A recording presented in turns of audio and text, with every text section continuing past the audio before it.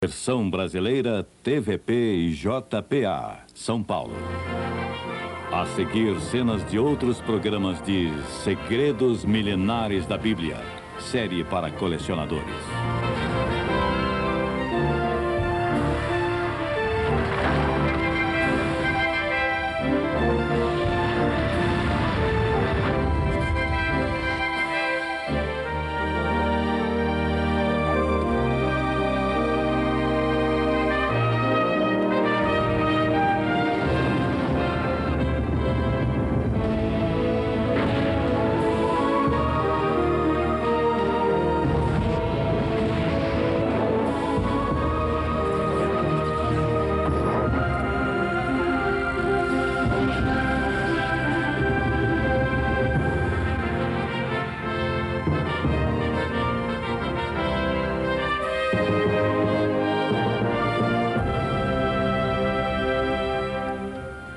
Viajaremos agora nas páginas do primeiro registro histórico contínuo da humanidade, o livro chamado A Bíblia Sagrada.